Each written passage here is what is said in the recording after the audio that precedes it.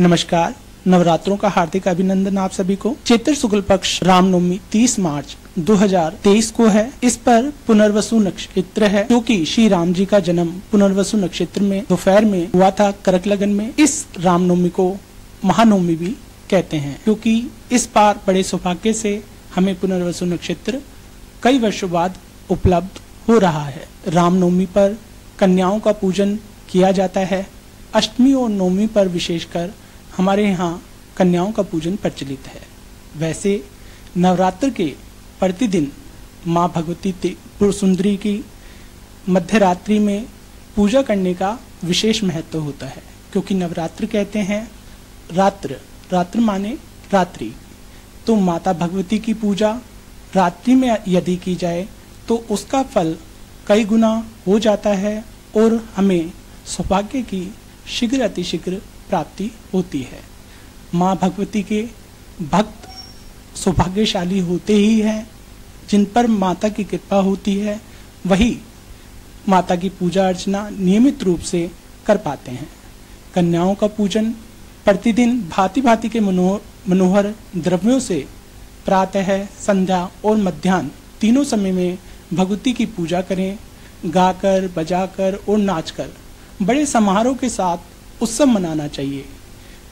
भूमि पर शयन करना चाहिए, दिव्य वस्त्र आभूषण और अमृत के समान मधुर भोजन आदि से कुमारी कन्याओं का पूजन करना चाहिए। पहले दिन एक की पूजा करें, फिर प्रतिदिन क्रमशः एक एक कन्या को बढ़ाते जाएँ। दूसरे दिन दो और तीसरे दिन तीन।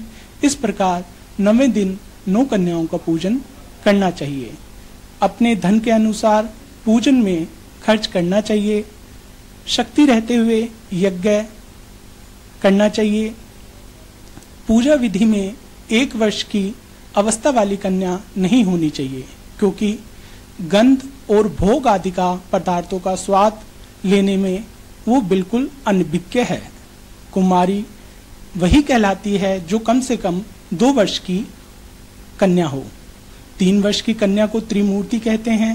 चार वर्ष की कन्या को कल्याणी कहते हैं, पाँच वर्ष की कन्या को रोहिणी कहते हैं, छह वर्ष की कन्या को कालिका, सात वर्ष की कन्या को चंडिका और आठ वर्ष की कन्या को सांभवी, नौ वर्ष की कन्या को दुर्गा और दस वर्ष की कन्या को सुभद्रा कहा गया है। इसके ऊपर अवस्था वाली कन्या पूजा में नहीं लेनी चाहिए। वह सभी कार्यों में निग्ध मानी जाती है। इन्हीं नामों से विधि पूर्वक पूजन करें माता का। उन नौ कन्याओं का पूजन, फल, विभिन्न, जैसे माता भगवती का करते हैं, प्रत्यक्ष माता साक्षात हमारे घर आई है, इस प्रकार से माता का स्वरूप मान के उन कन्याओं की पूजा अर्चना करनी चाहिए। उससे हमारे सभी दुख, दारिद्र्य दूर होते हैं और सौभाग्य की वृद्धि होती है। पूजन में सर्वप्रथम कन्या को उच्च स्थान दें और उन कन्याओं का जल से चरण धुलवाएँ। शुद्ध जल से चरण धुलवाने के बाद उसको पूछें, गंध, अक्षत उनके चरणों पर लगाएँ, फूल समर्पित करें माता को। और माता को ऊँचे आसन पर बिठाकर उनकी गुलाब के फूल से या सफ़ेद फूल की माला से उनके गले में अर्पण करनी चाहिए, पहनानी चाहिए और माता को लाल चुनरी पहनानी चाहिए। और श्रृंगार की सभी वस्तुएँ माता को अर्पित करनी चाहिए। उनको भोजन में खीर, दही दही में नमक ना डालें। दही, पूरी, हलवा, जलेबी, नैवेद्य इत्यादि उनको भोजन कराना चाहिए। बड़े श्रद्धा भाव से जैसे माता प्रत्यक्ष हमारे सामने आई हैं, माता का स्वरूप मान के, जैसे माता के नौ नाम हैं, उन उन स्वरूपों को मान के माता की पूजा करनी चाहिए। माता की पूजा करने के उपरांत, चलते वक्त फल इत्यादि मिष्टान श्रृंगार का सामान माँ को अर्पित करना चाहिए, दक्षिणा अर्पित करनी चाहिए और उन कन्याओं को माता रूप मानकर अपने ऊपर चावल छुड़वाएँ और अपनी पीठ थपथपवाएँ भगवती त्रिमूर्ति की पूजा से त्रिवर्ग अर्थात धर्म अर्थ काम की सिद्धि मिलती है।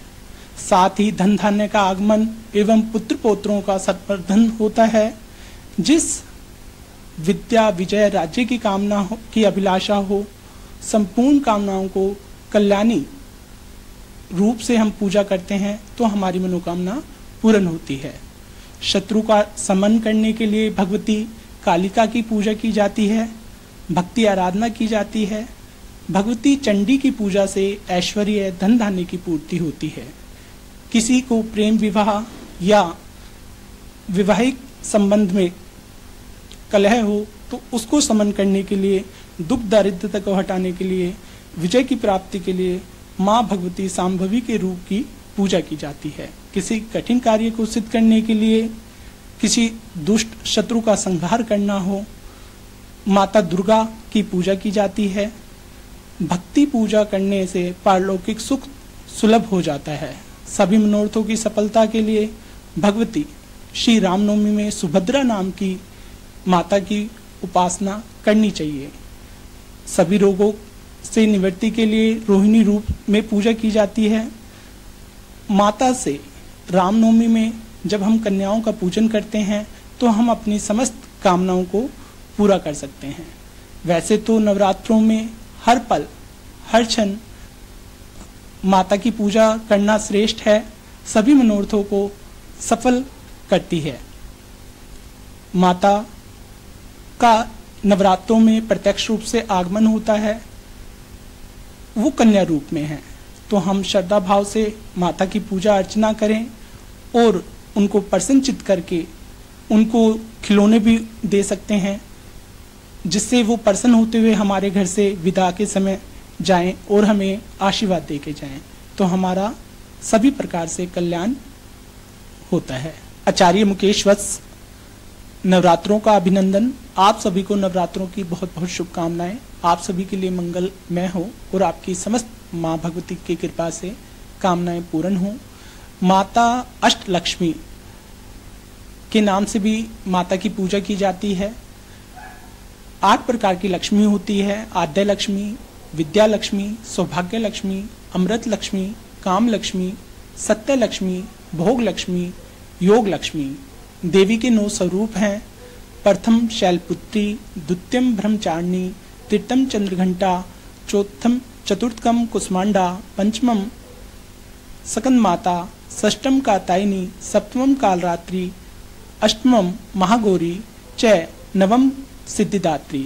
ये माता के नौ स्वरूप हैं इस नवम नवरात्रि में माँ त्रिपुर सुंदरी सिद्धिदात्री को कमल के आसन पर विराजमान किया गया है। कमल के आसन पर माँ विराजमान है। इसलिए माता को कमल का पुष्प ज़रूर माता को स्थापित करें, अर्पित करें, जिससे माता प्रसन्न हो, लक्ष्मी धन धन्य आपके यहाँ पे बने रहे। जय माता दी।